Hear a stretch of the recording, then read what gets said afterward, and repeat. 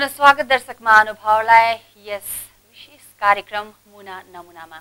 र आजको यस मुना नमुना कार्यक्रममा एकजना यस्तो विशेष नानी भनौँ न है तपाईँहरूको समक्षमा राखिसकेकी छु मैले। उहाँको नाम हो मर्सी तामाङ। र मर्सी तामाङले कुन ट्यालेन्ट लिएर यहाँनिर आउनुभएको छ तपाईँले हेरि नै हाल्नुभयो। र सबै नानीहरूको निम्ति एउटा इन्सपिरेसन एउटा इक्जाम्पल हो। मैले अघि नै भनिहालेँ। र आउनुहोस् फेरि उहाँसित कुराकानी गरौँ। र कुराकानी त गरेँ मैले निकै नै तर एउटा सानो कुरा चाहिँ दर्शक महानुभावहरू मैले बिर्सेछु। पहिला नै सोध्नुपर्ने थियो उहाँलाई। र जुन ट्यालेन्ट मल्टी ट्यालेन्ट भनौँ न है उहाँ हुनुहुन्छ है बहुप्रतिभाशाली नानी हाम्रो समक्षमा आउनुभएको छ। उहाँको बुवा आमाको नाम चाहिँ मैले सोध्नु नै बिर्सेछु। त आउनुहोस् उहाँको बुवा आमाको नाम पनि सोधिहालौँ। त नानी मैले पहिला नै सोध्नु पर्थ्यो है हजुरको बुवा आमाको नाम र बुवा आमाको नाम चाहिँ के हो अमित तामाङ है यहाँ कर्सिङ चाहिँ कुन चाहिँ ठाउँमा बस्नुहुन्छ भनेपछि सुबेदार बस्ती भनेर जानिन्छ नि है मैले पहिला नै सोध्नु पर्थ्यो है यो चाहिँ निकै ढिलो गरेर सोधेँ मैले किनकि भन्दा भन्दा एउटा हुन्छ नि है कुरा गर्दा गर्दा मैले सङ्गीतकै मात्रै कुरा सोध्नु मतलब मन पऱ्यो नि त है त्यसले गर्दाखेरि चाहिँ मैले त्योपट्टि नै गएँ र माफ गर्नु होला है दर्शक महानुभावहरू हामीले कुराकानी गरिसकेका छौँ अघि थुप्रै थुप्रै कुराकानी गरौँ र अहिले चाहिँ अब फेरि कुन चाहिँपट्टि जाउँ भन्दाखेरि चाहिँ उहाँको जुन धुन उहाँले सिक्नु भएको छ जुन भाइलिन धुन सिक्नु भएको छ उहाँको गुरुजीको नाम गुरुजीको नाम चाहिँ के होला? मैले ग्रेड फाइभसम्म चाहिँ मिस्टर चन्द्र थापासँग गरेको क्लासेस उसकोबाट लिएको। अनि त्यसपछि चाहिँ मैले दार्जिलिङ मिस्टर जीवन प्रधान अनि उसको छोरा मिस्टर मिसाल प्रधानले चाहिँ प्रेजेन्टली सिकाउनुहुन्छ। उसको हजुर। हजुर।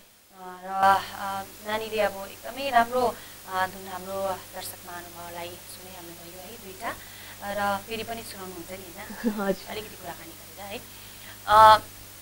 जुन यो क्षेत्रलाई तपाईँले चुन्नु भने है अघि नै तपाईँले भन्नुभयो पापाले चाहिँ अब गिटार बजाउँदा बजाउँदै छेउमा गएर बस्थे र आमाले चाहिँ यो भाइलन धुनमा चाहिँ मलाई हालिदिनु भयो भनेर भन्नुभयो नि है।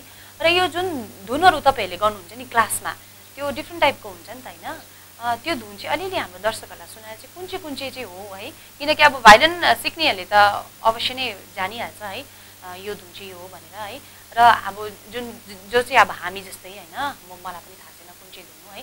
अलिकति बजाएर चाहिँ हाम्रो दर्शकहरूलाई पनि सुनाइ पनि दिने प्लस अब अलिकति भनि पनि दिने नि कुन चाहिँ कुन चाहिँ धुन चाहिँ बजाउँछ भनेर क्लासमा।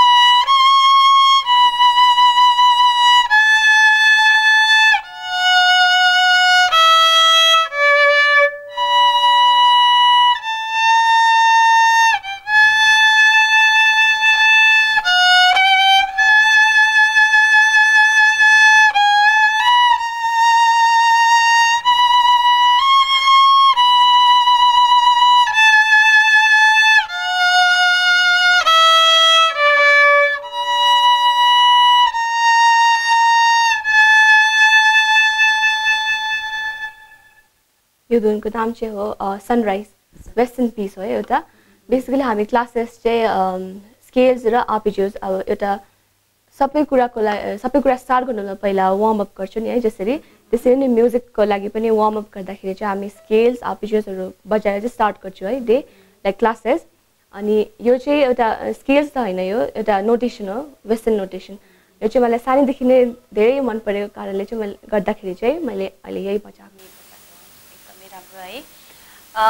र एट स्ट्यान्डर्ड एटमा है जुन चाहिँ ग्रेड भन्यौँ नि है हामीले त्यो ग्रेड एट ग्रेडमा पुग्दा त अब एकदमै निकै नै निख्रिएर गइसकेको हुँदो रहेछ नि त है अहिले चाल पाएँ मैले। र नानीले क्लास पनि गराउनुहुन्छ भनेर सुनेको थिएँ क्लास गराउनुहुन्छ। हजुर टु इयर्स भयो क्लासेस हजुर दुईजना सानो सानो बहिनीहरू छ है नेबरै हो उनीहरूलाई चाहिँ म क्लासेस गराउ गराउने गर्छु। घरमै? हजुर घरमै। र दर्शक महानुभावहरू उहाँ यस्तो ट्यालेन्टेड हुनुहुँदो रहेछ अहिले हामीले चाल पाएँ है। जस जो चाहिँ अहिले नानीले आफै पनि क्लास लिनु हुँदैछ साथसाथै क्लासेस दिनु पनि हुँदैछ है सिकाउनु पनि हुँदैछ एकदमै राम्रो। किनकि एउटा आफ्नोमा एउटा चाहना हुनु पऱ्यो नि त होइन? किनकि आफूले सिकेको जुन छ जुन ट्यालेन्ट छ जुन धुन छ जुन सङ्गीत छ जुन अब जुनै पनि चिजमा हामी सिक्ने गर्छौँ सिकाउनु पनि सक्नु पऱ्यो। र उहाँले दुईजना नानीहरूलाई सिकाउनु पनि हुँदो रहेछ त्यो अहिले भर्खरै हामीले थाहा पायौँ। र एकदमै राम्रो कुरो यो किनकि उहाँ आफै नै सिक्नु हुँदैछ र पनि उहाँले सानसानो नानीहरूलाई पनि सिकाउनु हुँदैछ। त दर्शक महानुभावहरू यस्तो ट्यालेन्टेड नानीसित हामी कुराकानी गरिरहेका छौँ। त आउनुहोस् फेरि कुरालाई अगाडि बढौँ। धुनको कुराहरू गऱ्यौँ है सिकाउनु हुँदो रहेछ है। दुईजना नानीहरूलाई एकदमै राम्रो है। अब पनि अझै नानीहरू निकै नै बढेर जाओस् होइन। किनकि आफूले सिकेको चिजलाई हामीले बाँड्न नै एकदमै ठुलो कुरो हो नि त होइन। र आफ्नो घरदेखि नै सुरु हुन्छ है जुन नेबर्सलाई सिकाउनु हुँदैछ नानीले। र बाहिर गएर त्यो नानीहरूले भन्छन् त मेरो दिदीले सिकाएको भनेर अरू नानीहरू पनि आएर सिक्न सक्छन्। होइन पछि गएर क्लासेस लिनु सकिन्छ होइन दिनु सकिन्छ। एकदमै राम्रो कुरो। र यसलाई फेरि अलिकति हटेर म एउटा पर्सनल कुरा सोध्छु है त। छोरी मान्छे हो है आमालाई काम सघाउँछ? हजुर. सघाउनु त लाइक म त जहिले पनि रेडी छु है मम्मीलाई सघाउनु तर मम्मीले खै के गर्नु हजुर गर्नु के नगर खालि पढ भाइलिन बजाऊ त्यति हो अरू के गर्नु पर्दैन भनेर आमाको मन हो है आमाको मन हो र पनि अब सिक्दै गऱ्यो भने आफूलाई नै राम्रो छोरी मात्र होइन है हामीले भन्छौँ छोरीले चाहिँ घरको काम गर्नुपर्छ भने त्यो होइन है छोराले पनि गर्नु नै पर्छ है मैले छोरी हो भनेर भने है त्यो छोरीले मात्रै गर्नुपर्ने आमा बुवालाई छोरीले मात्रै सघाउनु पर्ने भने त होइन तर छोराले पनि गर्नुपर्छ है? र पनि अब सकेसम्म चाहिँ आफ्नो आमाले त अब आफ्नो कहिले पनि यो काम गर त्यो काम गर त भन्दैन है? र पनि अब आफूले सिकेसम्म आफूले अलिअलि भए पनि घरमा काम सकायो भने आफूलाई राम्रो होइन? र सघाउने गर्नु कोही बेला है यसो छुट्टीको बेलामा होइन आफ्नो भाइलिन अ, बजाउँदै गर्दाखेरि चाहिँ अब म आमालाई पनि अलिकति काम सघाउँछु है भन्ने चाहिँ आफ्नो मनमा हुनु पऱ्यो नि त है। आमा। पनि खुसी हुन्छ होइन जसरी आमाले नानीलाई खुसी राख्छ त्यसरी नै नानीले पनि खुसी राख्नु पऱ्यो है। र यो पनि छुट्टै कुरा भइहाल्यो। र फेरि धुन बजाएर अ, सुनाउने हाम्रो दर्शकहरूलाई। हजुर र दर्शक महानुभावहरू किनकि हामीले भाइरन अ, जुन भाइरन अ, वादनमा उहाँले एकदमै के भनौँ है कहाँ कहाँ गएर चाहिँ अब उहाँले धुन बजाइसक्नु भएको छैन आफ्नो ट्यालेन्ट देखाइसक्नु भएको छैन। र यही धुनलाई नै हामी सुन्नको निम्ति आज उहाँलाई यस कार्यक्रममा हामीले मुना नमुनामा आफ्नो ट्यालेन्ट देखाउनको निम्ति नै हामीले यहाँ बोलाएका हौँ। र फेरि पनि सुनौँ एउटा धुन।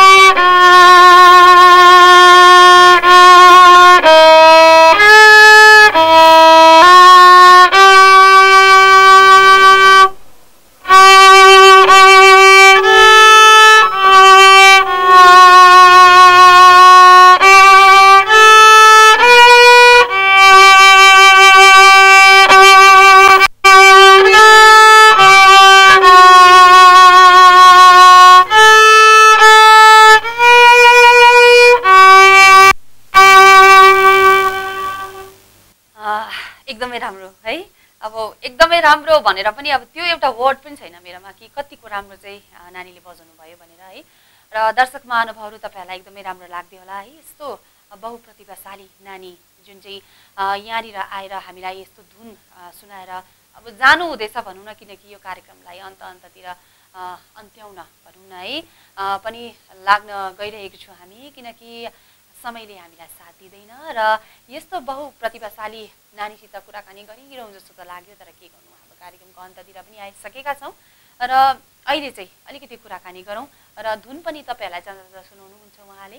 आउनुहोस् फेरि पनि कुराकानी गरौँ। र धुन त निकै नै सुनिहालेँ हामीले है र कार्यक्रमको अन्त अन्ततिर पनि आइसक्यो छोड्न त मन लागेको छैन।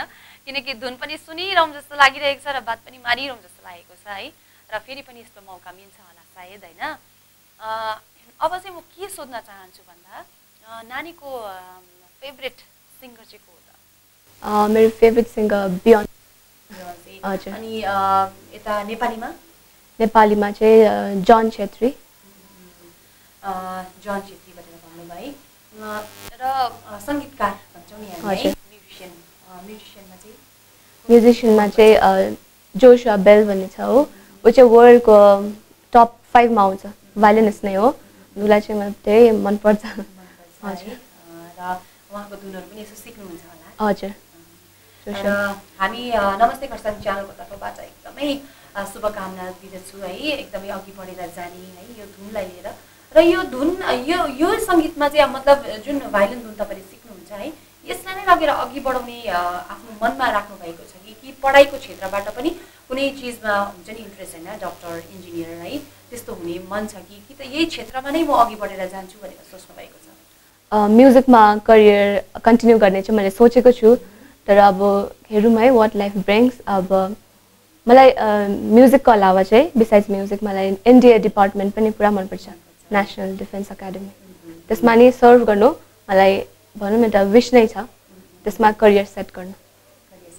हजुर। बेस्ट है।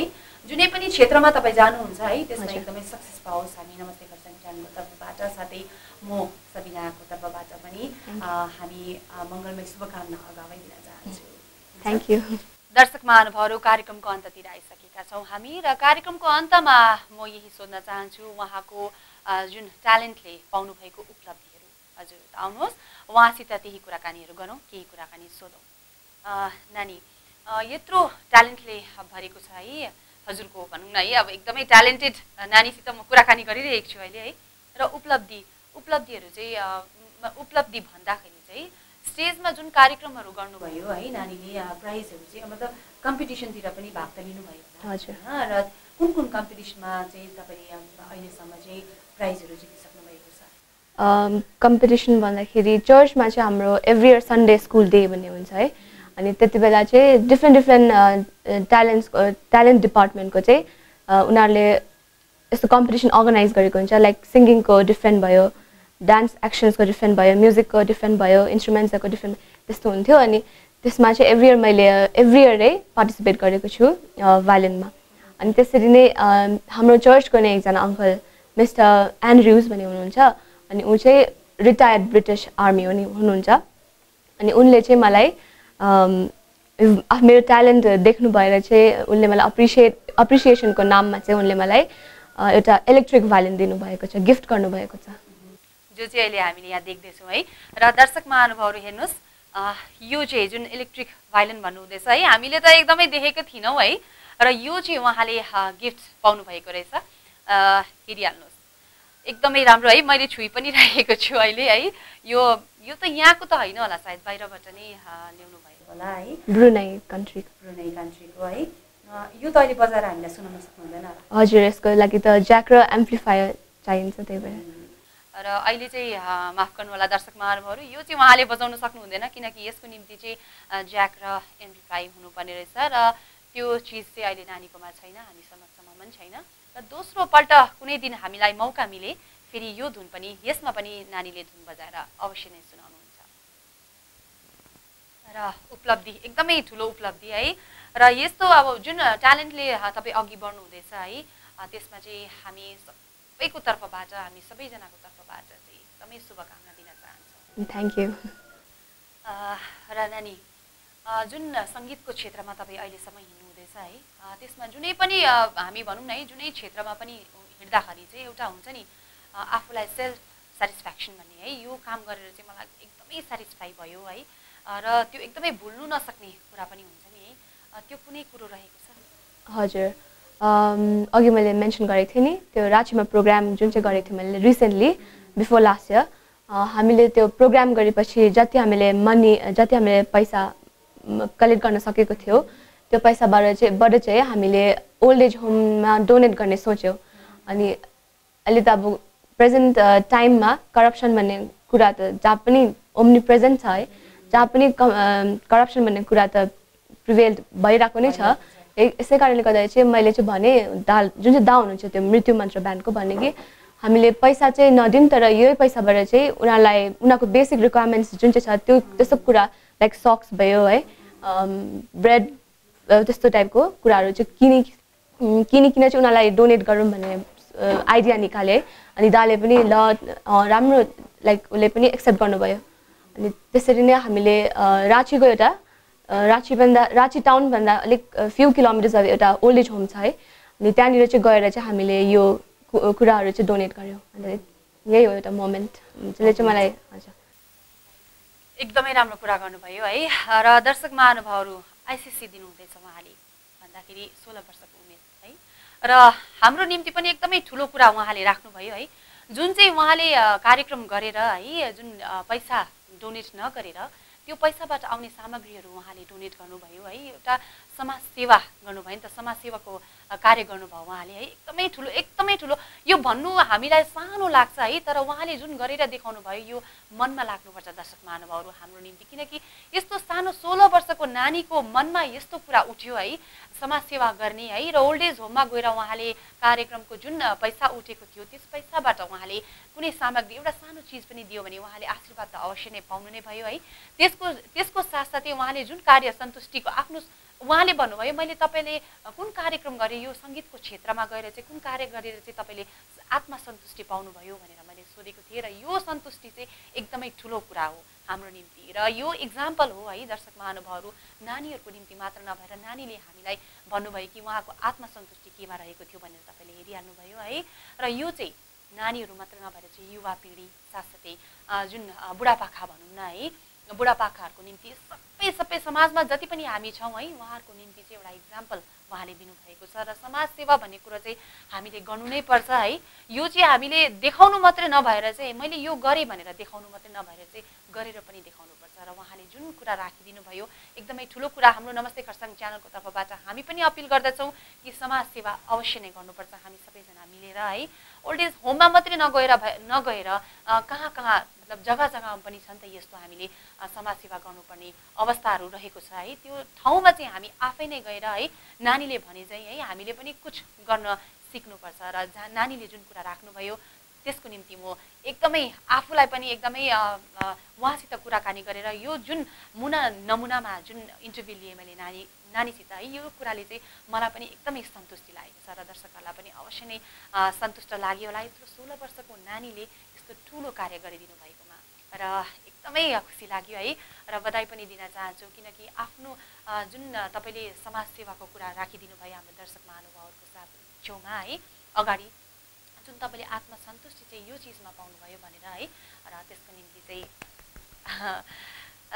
बधाई एकदमै बधाई छ। र कार्यक्रमलाई अन्ताउनु नै पर्यो है। र जाँदा जाँदा चाहिँ म एउटा मेरो आफ्नो जुन मलाई धुन मनपर्छ है गीत मनपर्छ त्यसमा धुन सुनाइदिने हजुर जुन स्वर सम्राज्ञी हुनुहुन्छ नि अरुणा लामाज्यूको पोहोर साला भन्ने। हर साल त्यो बजाएर हाम्रो दर्शकहरूलाई पनि अब बिदा दिने समय भइसकेको छ है। र यो मेरो जुन डिमान्ड मैले नानीको समक्षमा राखेँ है उहाँले यो धुन बजाएर तपाईँहरू बाजा हामी ओजल हुनेछु। र यस्तो कार्यक्रमहरू थुप्रै थुप्रै छ। हाम्रो नमस्ते खरसाङ च्यानलको तर्फबाट तपाईँहरूको समक्षमा राख्नेछौँ। यो मुना नमुना मात्र नभएर व्यक्ति विशेष पनि छ। यस्तो थुप्रै थुप्रै कार्यक्रमहरू तपाईँहरूको समक्षमा सधैँ नै हामी राख्ने नै छौँ र मन पराएर हेरिदिनु होला। र यस्तो ट्यालेन्ट कसै तपाईँहरूको तपाईँहरूलाई पनि थाहा छ यस्तो नानीहरू जो चाहिँ ट्यालेन्टले भरिएको छ बहु प्रतिभाशाली छ उहाँहरूलाई पनि तपाईँले हाम्रो समक्षमा ल्याएर उहाँलाई दर्शक महानुभावको समक्षमा हामी राखिदिने अवश्य नै हामी पुरा बनेछौँ र तपाईँहरूले पनि हामीलाई यस्तै प्रकारको नानीहरू तपाईँले पाउनुभयो भने आफ्नो घरमा पनि नानीहरू हुन्छ नि है। जो चाहिँ क्यामेरामा फेस नगरेको हुन्छ है र उहाँहरूको ट्यालेन्ट चाहिँ एकदमै अगाडि बढिसकेको हुन्छ र हामीलाई थाहा हुँदैन।